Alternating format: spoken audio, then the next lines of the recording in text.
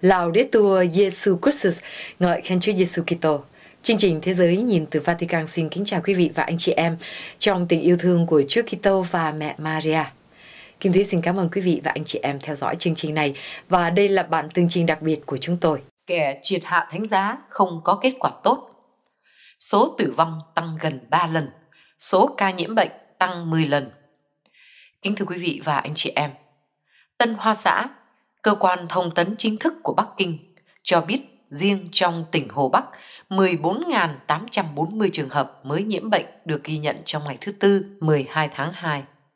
Cũng trong ngày thứ Tư, có 242 người chết.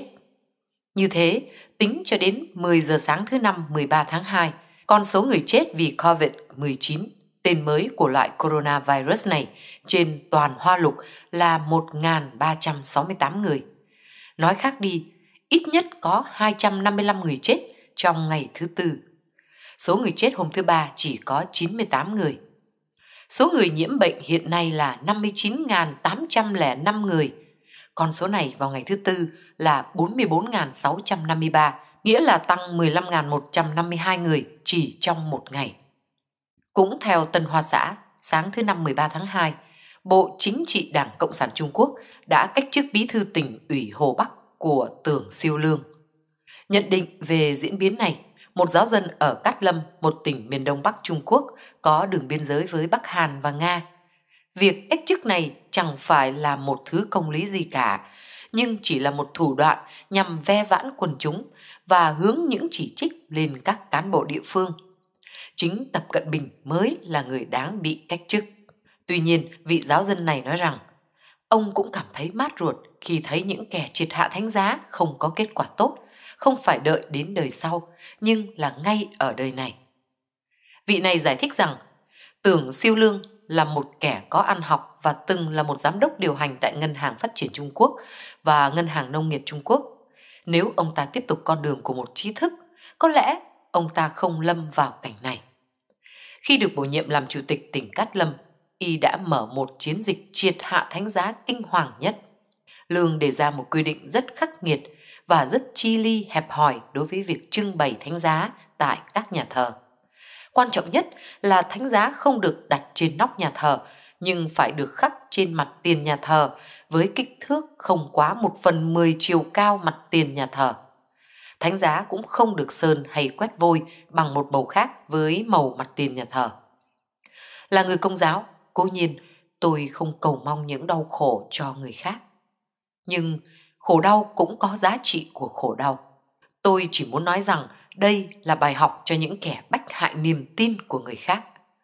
Thông điệp tôi muốn nói với họ là những kẻ triệt hạ thánh giá và bách hại niềm tin vào thiên chúa của người dân sẽ không có kết quả tốt đâu.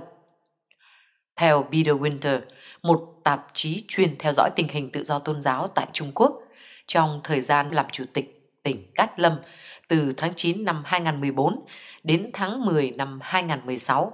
Lương nhổ sạch khoảng 100 thánh giá trên nóc các nhà thờ công giáo và tin lành. Từ tháng 10 năm 2016, y được điều về làm bí thư tỉnh ủy Hồ Bắc cho đến khi bị cách chức và bị bắt vào sáng ngày 13 tháng 2. Trong thời gian này, một chiến dịch triệt hạ thánh giá cũng được y hô hào tại Hồ Bắc. Hôm thứ Tư, Trương Tấn là bí thư tri bộ đảng Sở Y tế Hồ Bắc và Lưu Anh Tư là giám đốc Sở Y tế Hồ Bắc cũng bị cách chức. Thành Tung Phong, giám đốc Sở Du lịch bị bắt về tội đào ngũ vào sáng thứ năm. Trong một diễn biến khác, như Kim Thúy đã đưa tin, 1.455 khách và 802 thủy thủ đoàn trên chiếc Westerdam của hãng tàu du lịch Holland America Line đang trong tình trạng sống dở chết dở ở ngoài khơi phía nam Việt Nam – sau khi năm quốc gia đã lần lượt từ chối không cho chiếc tàu này cập bến, mặc dù không có ai trên con tàu này được chẩn đoán là đang mắc phải chứng bệnh gây hoang mang toàn cầu. Trong một diễn biến mới nhất, đại sứ Hoa Kỳ tại Campuchia là ông Patrick Murphy đã thuyết phục thành công quốc gia này cho phép con tàu cập bến tại cảng Sihanoukville.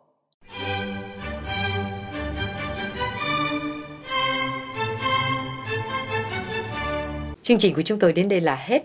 Xin quý vị và anh chị em giúp phổ biến rộng rãi chương trình này đến với gia đình, thân quyến và bạn bè xa gần như một cách thức để truyền giáo. Mọi ý kiến đóng góp xin gửi về địa chỉ tv.vietcatholic.net Xin cảm ơn và hẹn gặp lại quý vị và anh chị em trong lần phát hình tới.